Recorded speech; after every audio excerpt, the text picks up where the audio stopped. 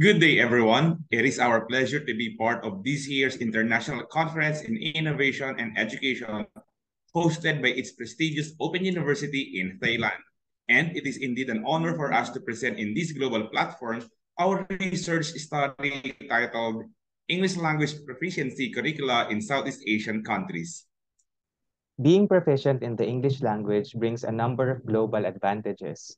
And so, English language proficiency has become one of our most primary concerns. Aligned with this, an organization known as Education First or EF yearly measures the English language proficiency of different countries. The globally published result is known as the EF English Proficiency Index or EF-EPI, in which almost all of the countries in Southeast Asia annually participate. Considering the annual results of EF-EPI, we have observed that there are Southeast Asian countries which are able to maintain their high or very high proficiency in the language. However, it is also notable that there are countries in Southeast Asia which have been in the low or very low proficiency bands over the course of years. Hence, we the researchers decided to conduct this study examining the English language proficiency curricula among the Southeast Asian countries Specifically, we sought to answer the following questions. One, how may the English language proficiency level of Southeast Asian countries be described based on the EF English Proficiency Index 2021? Two, what observations can be seen in the English education curricula among the Southeast Asian countries? Three, what are the other significant features of curricula in Southeast Asian countries which contribute in producing citizens with high English proficiency level.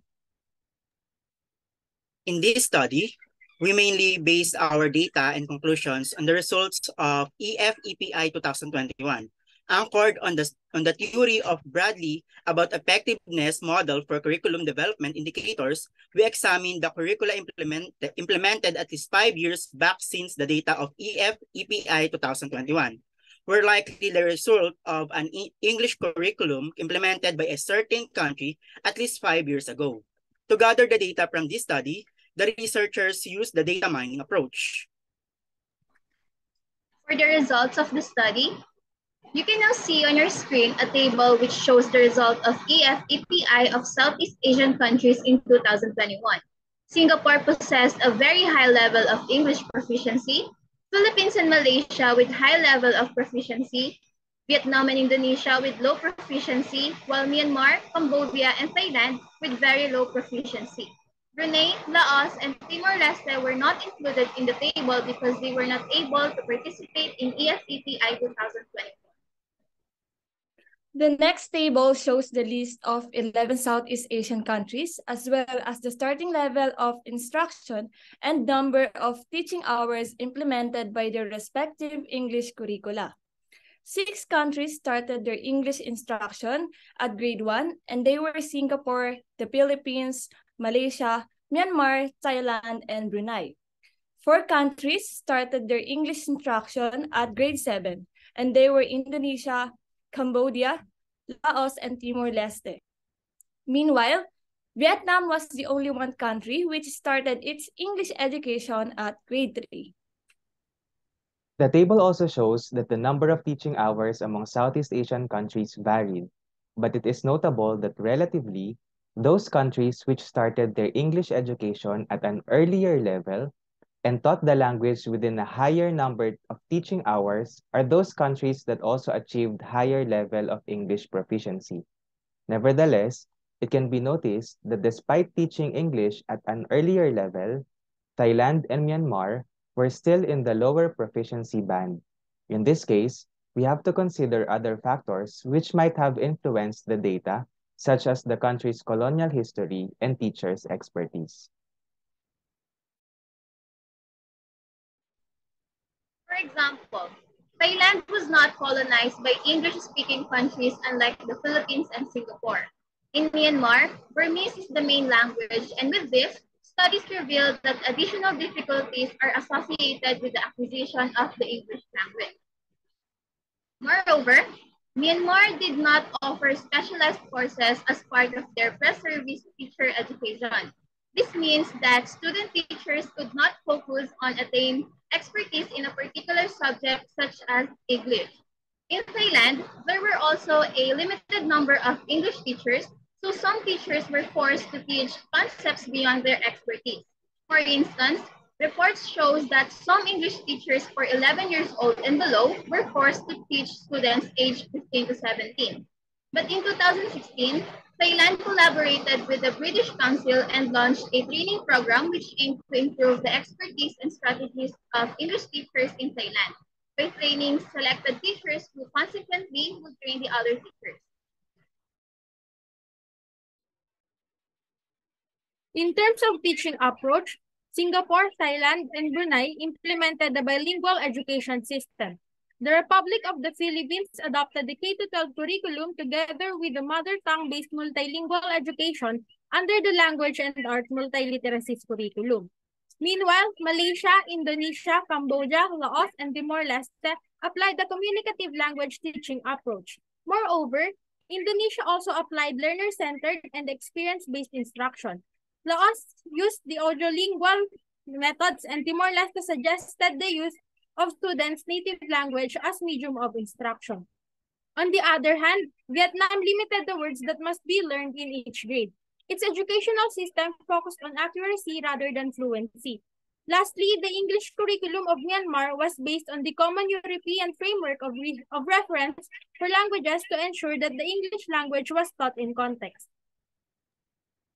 Considering the data gathered, the following significant features of English curricula were pointed out. First, the bilingual education system. The data of 2010 Singapore Census of Population show that the percentage of residents who speak both English and other language in Singapore has increased by 13.5% compared to the previous data gathered in 2000 and 2010. Apparently, Language Magazine reported that it even increased to 48.3% in 2020. Second, the language and arts multiliteracy curriculum in the Philippines. Its effectiveness is aligned with the timeless concept such as John Piaget's development learning theory. Since the curriculum applies the spiral progression way of learning, the children's cognitive skills in language are being well developed. Third, CLT activities in Malaysia were also proven to bring significant improvement to students' English-speaking skills, including grammar skills, vocabulary skills, pragmatic competence, and fluency. Meanwhile, some significant features from the other Southeast Asian countries include earlier English instruction, learner-centered and experience-based instruction, contextual teaching, and provision of continuous training for English teachers. Therefore, in light of the findings of the study, the following conclusions were drawn. In spite of differences, Southeast Asian countries have one thing in common. They continuously revise their English curricula for further development or improvement. The higher the number of teaching hours is the higher the possibility for students to achieve higher proficiency. Relatively, countries in which English instruction starts at an earlier level also tend to yield students with higher proficiency. However, other significant factors such as countries' colonial history and teachers' expertise may interfere. Third, the country's standing in EFEPI 2021 can serve as a basis to help identify the significant features of each curriculum which could be adopted by other countries to foster their English education. The researchers have also constructed the following recommendations. Firstly, Southeast Asian countries may participate really in on EFEPI for continuous monitoring of improvement. Next, countries with lower proficiency may recognize features of their existing curricula that can be improved. Finally, countries with lower proficiency may consider adopting the significant features of English curricula in Southeast Asian countries which performed well. And that concludes our presentation. We believe that our research will hold a huge contribution in fostering English language education throughout the world. Once again, thank you very much.